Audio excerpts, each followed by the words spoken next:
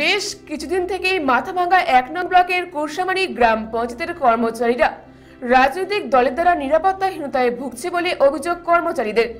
তাই দিন মাথাভাঙ্গা এক নং ব্লক সহ মহকুমার বিভিন্ন ব্লকের কর্মচারীরা, এমনকি মেখলিগঞ্জ গ্রাম পঞ্চায়েতের কর্মচারীরা একযোগে কিছু দাবি নিয়ে মাথাভাঙ্গা মহকুমা শাসক জিতিন যাদবের নিকট একটি স্মারকলিপি প্রদান করলেন।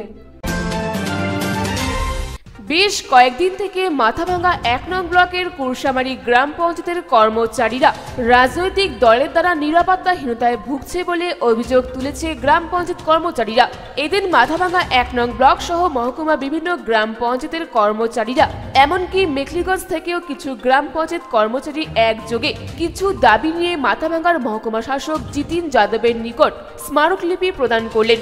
স্মারকলিপি দেওয়ার সময় নেতৃত্ব দেন গ্রাম পঞ্চায়েত কর্মচারীদের পক্ষে সুশীল চন্দ্র রায়, অজিত চক্রবর্তী, উত্তম রায়সহ প্রমুখ। পঞ্চায়েত কর্মচারী ঐক্য মঞ্চের পক্ষে সুশীল চন্দ্র রায় বলেন গত রাত দশটা পর্যন্ত গ্রাম পঞ্চায়েতে তালাবন্ধ অবস্থায় আটকে রাখা হয়েছিল পঞ্চায়েত কর্মচারীদের। অপরদিকে গতকাল একইভাবে রাত নটা পর্যন্ত আটকে রাখা হয় কর্মচারীদের। শেষে প্রশাসনের হস্তক্ষেপে অধিক রাতে গ্রাম পঞ্চায়েতের কর্মচারীরা মুক্তি পেলেও পাঁচ তারিখের কর্মচারীদের তালাবন্ধ অবস্থা থেকে উদ্ধারের ব্যাপারে প্রশাসনের কোনো উদ্যোগ আমরা দেখতে পাইনি। একের পর এক পঞ্চায়েত কর্মীদের দুর্ভোগের শিকার হতে হচ্ছে প্রতিনিয়ত। এই অবস্থায় গ্রাম পঞ্চায়েত কর্মচারীরা নিরাপত্তাহীনতায় ভুগছে। ওই দিনের ঘটনায় কুরসামারি গ্রাম পঞ্চায়েতের এক কর্মী দীর্ঘক্ষণ আটকে থাকার কারণে অনেক দূরে বাড়ি থাকায় তিনি ওই দিন বাড়ি ফিরতে পারেননি। অন্যের বাড়িতে আশ্রয় নিয়েছিলেন তিনি।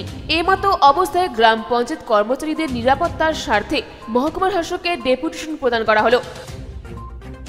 আমরা কুরসামারি গ্রাম পঞ্চায়েতের যে কর্মচারীরা আছে, গ্রাম পঞ্চায়েতের যে বিভিন্ন স্তরে প্রতিনিয়ত আমরা নিরাপত্তাহীনতায় ভুগছি।